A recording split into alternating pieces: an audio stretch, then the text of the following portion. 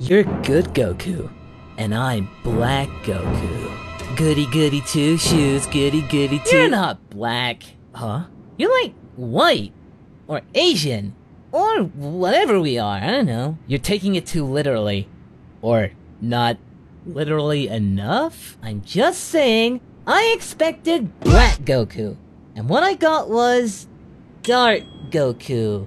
Nega Goku. Ukog. You done? Goku is the new black. You think you're f***ing smart? I become Super Saiyan Blue and you just dye your goddamn hair? I'll slap your shit, boy! How? How are you so much more powerful than me? Because Vegeta, arose by any other name, is still Goku. Huh. Different timeline, same results, eh, best buddy? Fuck you! Do you see it, Zamasu? The future! The future is burning blue! This sword line burns with an awesome power! Its burning blade tells me to defeat you!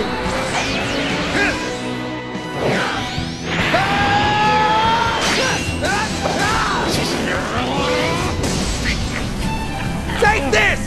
My love, my hope, and all of my sorrow!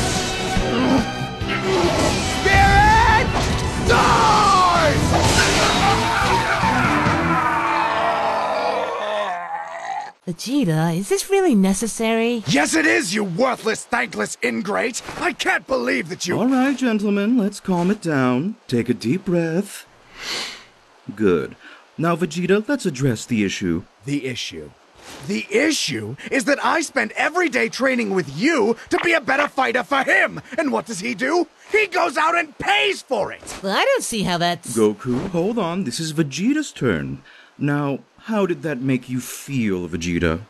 It made me feel hurt. It made me feel inadequate.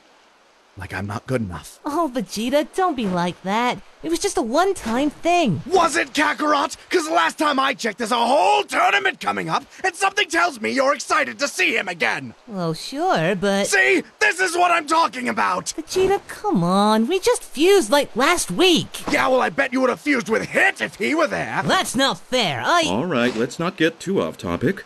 Goku, tell us, why did you decide to pay Hit to kill you? It is. I don't know. He just does things, you know? Things you can't.